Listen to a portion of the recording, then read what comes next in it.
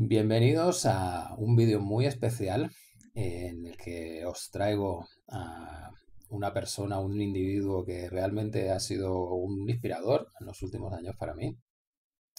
Y es un vídeo que enlaza la parte de la biodescodificación con los libros que recomendamos en la web. Nuestro invitado es Artur Salayado, que es físico, profesor, investigador y además el escritor de la serie de libros Magna Ciencia. Hola Artur, ¿cómo estás? Pues muy bien, Paco. Encantado de, estar en tu programa. Desde que recibí tu invitación me puse a mirar un poco tu canal y tengo que reconocer que la fórmula que tienes de los vídeos para dar esta información tan precisa y tal me ha servido muchísimo. A mi pareja también eh, y que estoy muy contento de poder hoy estar en tu canal y poder aportar eh, algunas cosas que, creo que pueden ser de utilidad para complementar más toda esta información que muy brillantemente has ido exponiendo en, sucesivos vídeos. Así que nada, con ganas de aportar. Pues además es una maravilla poder tenerte porque justo eh, no solo es presentar tus libros, que son una maravilla, sino que además lo podemos encajar en los temas que nosotros tocamos, como puede ser la nueva medicina germánica o uno de sus avances o desarrollos posteriores, que es la biodescodificación. Bien. El segundo libro, ese es increíble porque directamente te está explicando cómo funciona la biología. Y si ya tienes esos conocimientos de nueva medicina germánica que te están diciendo que la biología funciona de otra manera, que el cuerpo no es algo que esté en manos del azar, que se estropee, sino que todas las enfermedades son una adaptación que hace tu cuerpo al ambiente, a lo que necesitas para enfrentarte a lo que te rodea, a tu día a día, a lo que te genera estrés, pues todo lo que explicas en ese segundo libro enlaza perfectamente con lo que sería la cuarta ley eh, de Hammer, que nos dice que los hongos, bacterias y virus, que Hammer llama globulinas, porque también los virus tienen una historia propia que ahora también se está empezando a mostrar, son aliados indispensables, simbiontes, y cumplen determinadas funciones en el cuerpo dependiendo de la capa embrionaria de la que proceda el órgano tejido. Los microorganismos siempre se activan en fase de sanación, eliminando tejido muerto o no necesario en los órganos de capas antiguas y ayudando a la regeneración de tejido en los órganos de capas nuevas. Esta ley choca por todos lados con un montón de otros conocimientos, ya sean oficiales o sean alternativos también. Por un lado, con los oficiales tenemos la teoría de, infecciosa de Pasteur, pues claro, Hammer te está diciendo que eso no es real. Y de hecho es que eso se conoce desde, desde que desarrolla Pasteur su teoría. La mayoría de los médicos, cuando Pasteur que es ingeniero químico, desarrolla esa teoría, directamente están en contra. Dicen, a ver, si es que las bacterias están en todos sitios, ¿cómo me dices que eso es lo que genera el problema? Y como siempre, la ciencia tiene una huida hacia adelante, que es el decir, bueno, pues serán otros elementos más pequeños que no podemos ver. Vale, y claro, ahí entran los virus, que solo puedes ver con un microscopio electrónico, eso a ver quién lo tiene, y, qué experimentación se puede hacer con otro enfoque si no tienes una herramienta para verlo. Claro. Bueno, y también, por otro lado, y aquí enlazamos con, la parte del libro, eh, que está al final, que es la parte del terreno. En, otras teorías alternativas sobre la salud, también eh, se descubre que el terreno es muy importante para el desarrollo de las enfermedades. Pero sin este enlace que hace Hammer entre los microorganismos y el terreno, nos quedamos en las explicaciones de tienes que alcalinizar tu cuerpo porque si tu cuerpo está en ese estado, entonces no se desarrollan los microorganismos y vuelves a estar sano. Esa explicación se pierde totalmente la función del microorganismo. El microorganismo está ahí porque tiene una función.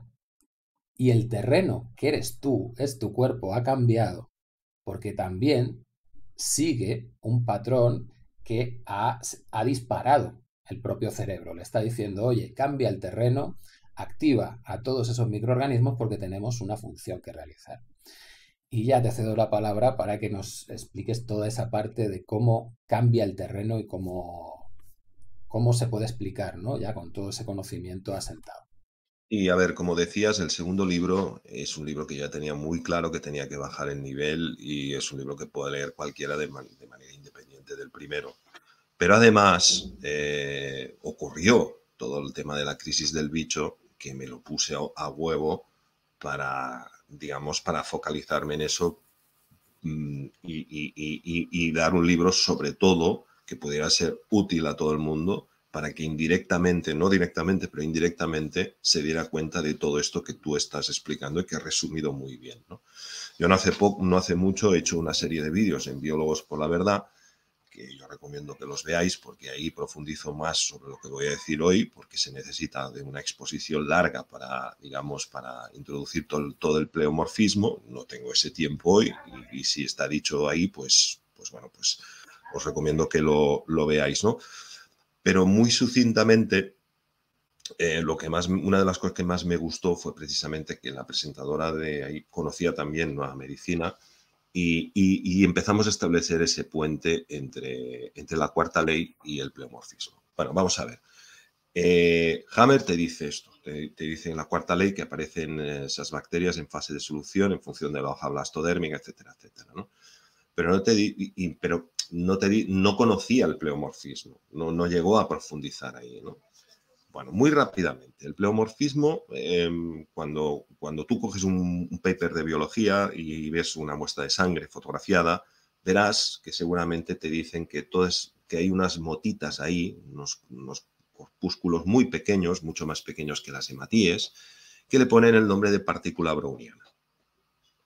La partícula browniana es algo que se mueve por azar. son unas escorias, unas cosas tan pequeñas que pueden ser eh, coloides, que es decir, que serían trocitos de, una micra o incluso menos de tierra, eh, totalmente muertos, que se llamarían coloides, que no tendrían vida. Pero, ¿qué ocurre? Que en la época de Béchamp y Pasteur, una serie de largas controversias, cuando uno mira el microscopio y ve esas unidades, esas unidades tan pequeñas y está durante un tiempo observando, empieza a ver que el comportamiento caótico que deberían de tener, el comportamiento por azar, no es tal. Entonces, una de las cosas, una de las primeras cosas que se descubre y que descubre Béchamp es que el carbonato cálcico, que se supone que es el resto de los huesos y de los, y, de, de, los peces, que va a parar al fondo del mar y forma ese pasaje que es el cárstico, a diferencia del carbonato cálcico químico, sí puede generar una reacción, digamos, eh, catalítica. Por lo tanto, él se da cuenta de que dentro del carbonato cálcico, más en concreto una fermentación. Entonces, él se da cuenta que la diferencia entre un carbonato cálcico, digamos, de la Tierra y un carbonato cálcico inorgánico está en estas unidades fundamentales de vida. Entonces, él llega a la conclusión de que todo lo que muere se reduce a estas unidades fundamentales, ¿vale? Y hace varios experimentos para comprobarlo. Es decir, tiene un gato durante siete años enterrado y a cabo de siete años, en las condiciones adecuadas, ha visto que se ha convertido en estas unidades fundamentales de vida. Estas unidades fundamentales de vida tienen la capacidad de autoorganizarse por sí solas, condicionadas a partir de los parámetros del terreno, para sintetizar toda la microbiología, insisto, lo que estoy diciendo hoy en día sabemos que es toda la microbiología. Es decir, que estarían detrás principalmente de las, todas las células procariotas. Las células procariotas son las células están las más diminutas de todas, que no tienen ni citoplasma, que está el núcleo repartido, que tienen un solo cromosoma. Eso que serían pues las arqueobacterias, las bacterias más antiguas. Luego, las levaduras, los hongos. Los hongos están considerados un mundo aparte por una serie de motivos que ahora tampoco sería momento de entrar, y incluso las células eucariotas. Las células eucariotas son células que pueden llegar incluso a ser visibles a simple vista, que son amebas, paramecios, vorticelas y toda una serie de, de células que, tienen. Pero incluso las células de la sangre, los fagocitos y demás, cuando, cuando tú dejas una muestra de sangre fuera y la dejas pasar durante tres días y dejas que la sangre se muera, observarás que incluso las hematíes se deshacen en estas unidades fundamentales de vida.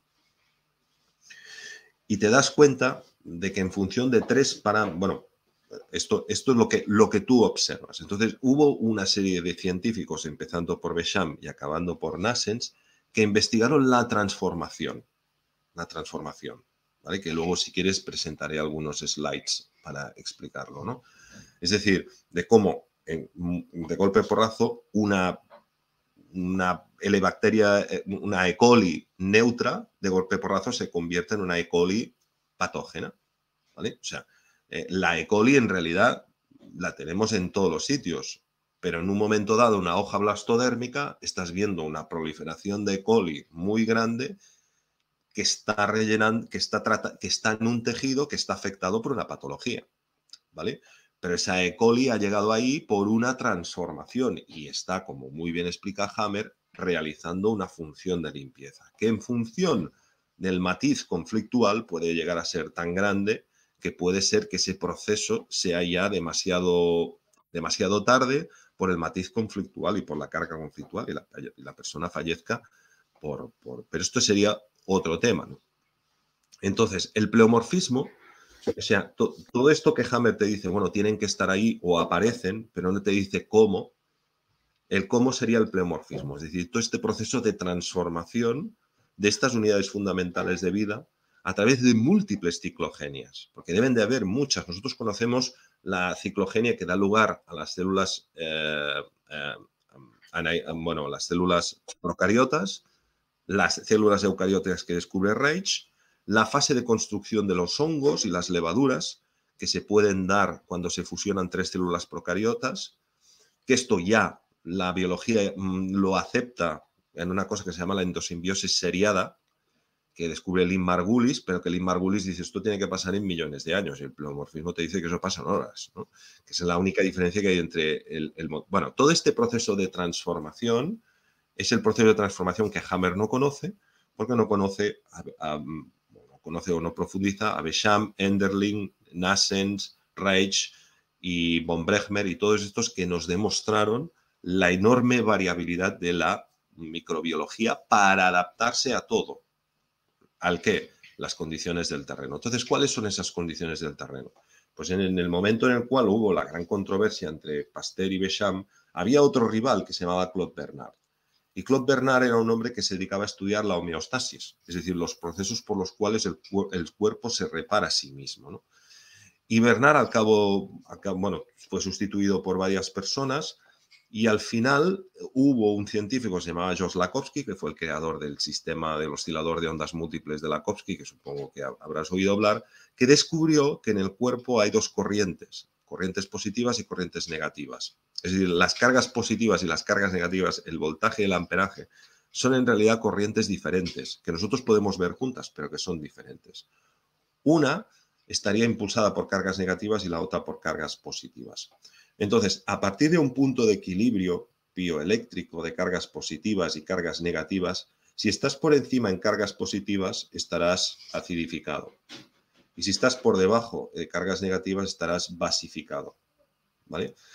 Por el contrario, si tienes un exceso de electrones, estarás reducido y si tienes una carencia de electrones, estarás oxidado.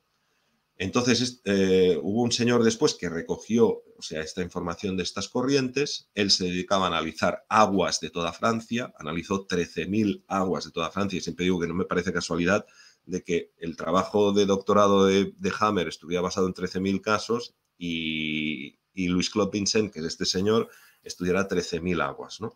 Entonces, este hombre estudió las aguas de Francia, se dio cuenta de que las aguas malas tenían unas características de potencial de oxidación y reducción, pH y resistividad concretas, y elaboró cuatro cuadrantes. Un cuadrante en el cual la vida nace, una vida en el cual la vida se mantiene, una cual, un parámetro en el cual la vida se degrada y un parámetro en el cual la vida muere y se convierte en putrefacta. Y a partir de aquí se vuelve a empezar. Es decir, dio lugar a las condiciones bioeléctricas del terreno que permiten comprender por qué se produce esta transformación.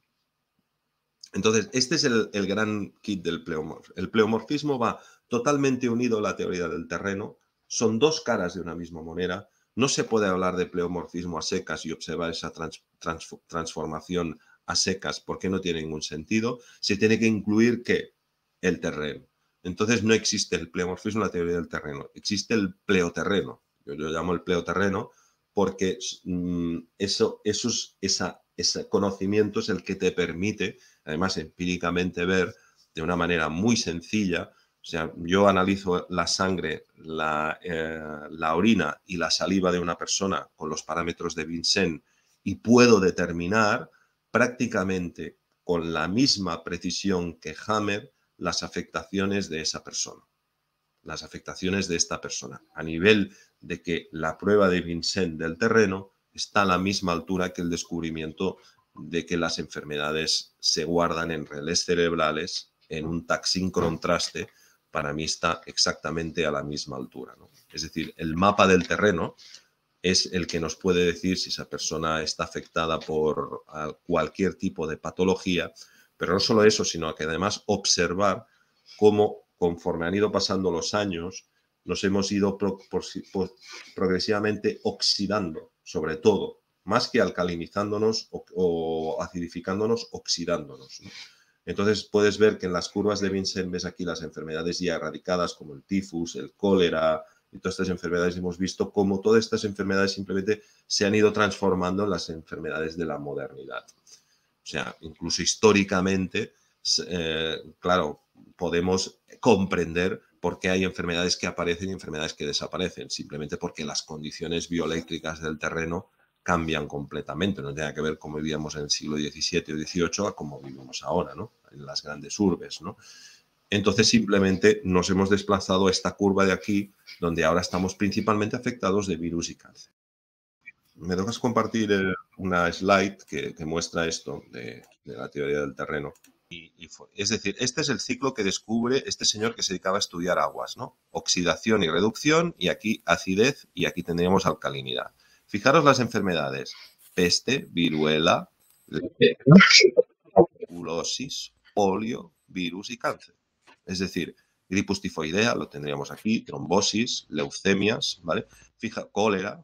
Fijaros que las enfermedades erradicadas eran enfermedades esencialmente reducidas y que nos hemos desplazado hacia enfermedades oxidadas, es decir, hacia virus y cánceres. O sea, este es el parámetro clave porque esto lo que nos permite ver es que realmente las, enfermedades cambian por condiciones del terreno y eso Hammer no llega ahí. O sea, Hammer no, te dice, bueno, pasa de esta manera, pero no te dice por qué. La bioelectrónica Pensen te dice por qué, pero ya casi a un nivel sistémico, ¿no? Es decir, ¿por qué ahora hay enfermedades que antes, antes estaban y no estaban? Perfecto. Un abrazo muy grande a ti, Artur, y a todos los que nos estáis viendo. Un abrazo a todos. Hasta pronto.